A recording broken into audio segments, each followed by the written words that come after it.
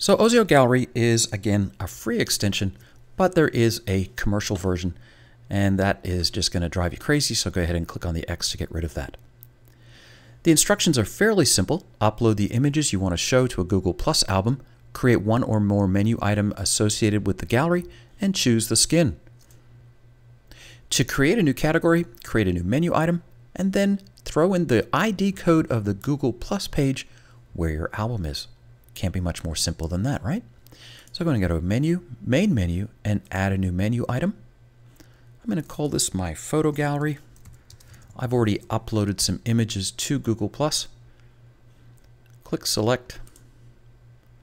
And right down here is Ozio Gallery 4. Choose the skin and I'm going to choose Fuerte. I'm going to leave it in the main menu simply because this is just a demo site. Click on the options. This skin only works on Google Plus photo albums, therefore it requires you to specify a valid Google Plus ID and album. So, how do we find these things? Well, let's go ahead over to my Google Plus page. And I'm going to click on my name. This is my OS Training Google Plus profile. Your Google Plus ID is in the URL of your browser.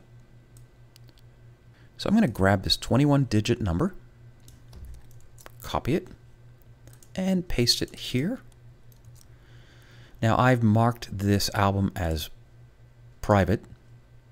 And now I need to go and get the Google Plus album ID. It's a 19 digit number shown in the URL of the browser when you're in the actual gallery. So let me go into the gallery, and this is the number I need there.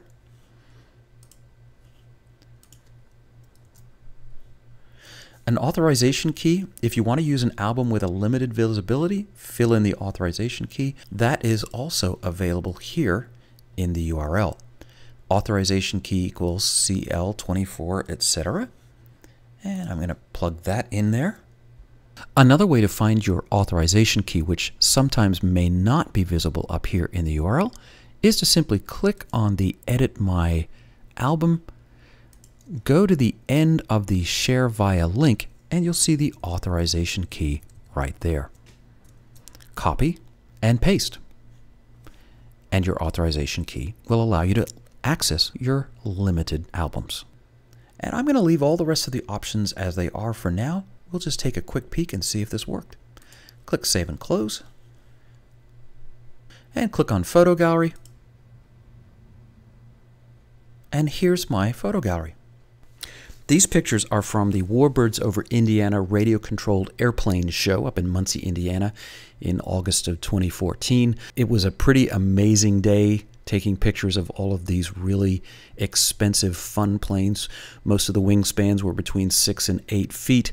That jet you see there flies at about 240 miles an hour. Uh, it was a lot of fun that day. I can make it into a slideshow.